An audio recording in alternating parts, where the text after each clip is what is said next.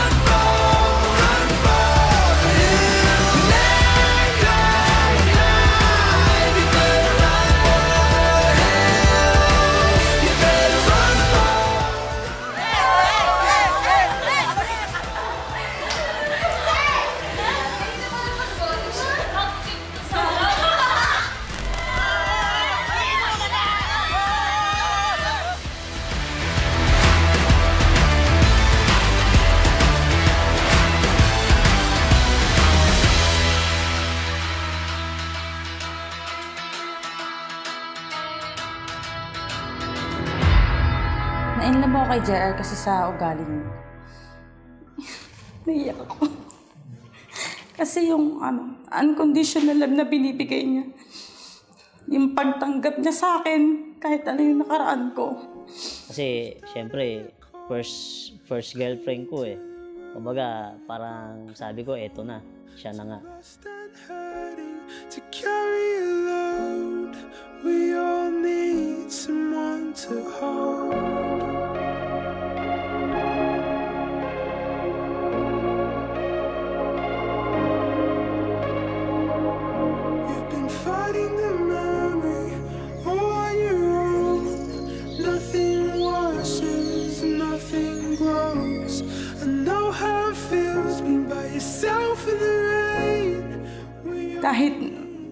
Hindi na ako perfect, hindi ako buo. Tinanggap niya ako, hindi lang yun. Mahal niya yung mga anak ko. Hindi lang yung tinanggap niya ako. Tinutulungan niya rin ako maging better person. Kaya nung nagkaroon ako ng lakas ng loob na sabihin sa magulang niya na hingin ko ang kamay, kamay niya, pakakasalan ko siya, naging desidido na ako lalo na maging ah, tumayo na maging asawa niya pangabang buhay. You've drunk it down and you spat it out. And nothing tastes like the things you had. So tear it all. Ang isang pinakamahalagang bagay po sa pagitan ng dalawang mag-asawa ay yung ginagawa nila sa ating gabi. Nagkukwentuhan sila. Making love is the most sacred thing between husband and wife. Husband and wife.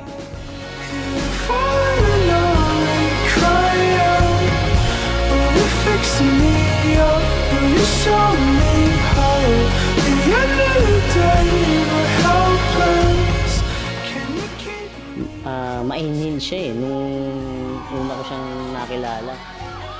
Third year, second year. Second year ko pa lang siya nakita. Mainhin siya, ah, medyo pala kaibigan. First impression ko kay JR. Kasi way back high school kami, ano siya, eh, bulakbul eh, bulakbul sa klase.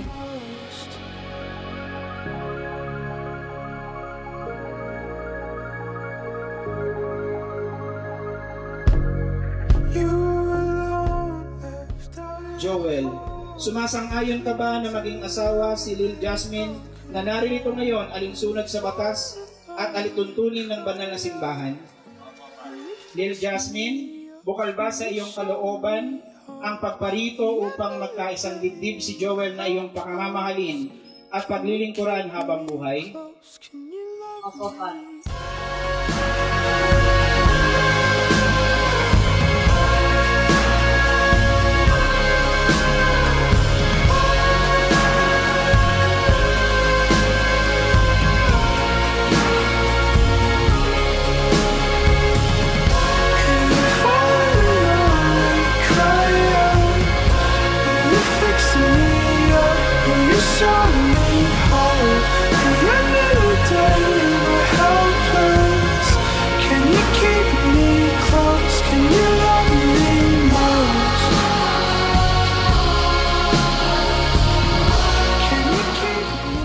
tiwala lang. Ang yun lang naman ang hinihiling ko sa'yo. Magtiwala ka lang sa akin.